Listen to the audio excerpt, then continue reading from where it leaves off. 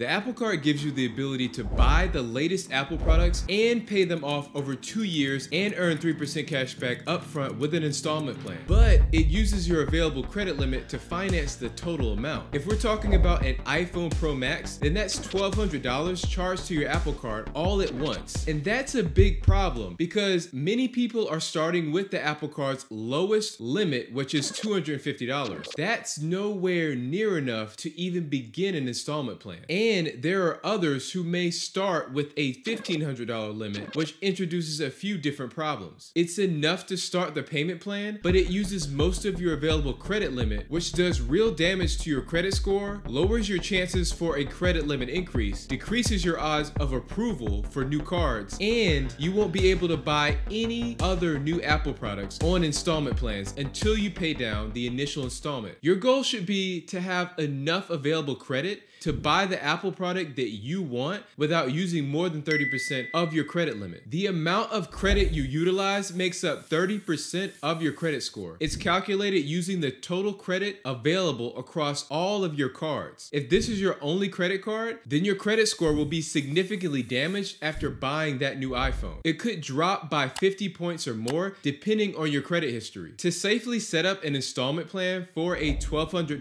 iPhone Pro Max and stay within the 30% rule, you would need a total credit limit above $4,000. Since you may not have a limit that high, you'll need to find a way to make up the difference and protect your score. In this video, I'll discuss five ways to buy that new iPhone and safeguard your credit score at the same time. First, you could save up money before your purchase or pay extra towards the iPhone payment plan balance over a short period of time. Three to six months would be a good target to shoot for. Once your credit usage returns to more acceptable levels, your credit report will reflect the improvements on a monthly basis. By using this method, you'll also be paying off your iPhone much faster, which eliminates the installment plan payments altogether. You could even set up autopay for the installment plan payments plus the extra amount within the wallet app. You can decrease your spending on the card at least until the installment loan is almost finished. It can be helpful to stop using your Apple Card and switch to a debit card or cash to make regular purchases. Otherwise, your new purchases will offset your payments by increasing your credit usage each month and your credit utilization rate won't go down as quickly. You can try setting your debit card as your default payment method within the wallet app to help out. If you still like to use the Apple Card and earn cash back, then you can accomplish the same thing by decreasing the reporting of what you spend on your Apple Card by paying the total balance before the billing cycle closes. The Apple Card billing cycle is from the 1st to the 30th every month. So as long as you pay the balance of the card for the purchases you made throughout the month by the 30th in full, then it won't be reported to the credit bureaus. This way you still earn daily cash back that you can use to help pay your regular purchases without doing any extra damage to your score. You could try making payments weekly to stay on top of all your transactions. Next, if you qualify, you could try opening a whole new card. This will raise your overall credit limit, which will in turn instantly lower your utilization rate once you're approved. A good choice is the Discover It card. You can pre-qualify without hurting your credit score and it only requires a score in the low to mid 600s. Credit card issuers typically offer you a credit limit similar to accounts on your credit report. So let's say you have a $1,500 line with Apple. Then you should receive around the same with Discover. Now you'll be capable of earning more cash back since the It card earns 5% back in rotating categories, which will complement the Apple Card's ability to earn 2% back at many other places. Plus, it comes with a first year bonus that doubles the cash back you receive for that year. If you're getting value from this, please hit the like and subscribe button so you can see more videos just like this one. Another approach is to just take the initial hit to your credit score in the short term. Your utilization rate not only has a high impact on your score, but it also affects it at a high speed. It typically takes 30 to 60 days to see your usage reflected in your credit score. You may be at a point in your life where you don't have any major car or home purchases coming up, so you can have a little patience. You should be able to get a credit limit increase in the near future. Many people have informed me that Apple will increase your limit after just 60 to 90 days of good performance. And in many cases, it happens automatically. Apple and their partner bank, Goldman Sachs, just need to establish a working relationship with you first. If things are taking too long and you don't see any movement after a few months, then you can manually request one from customer service. If you're interested in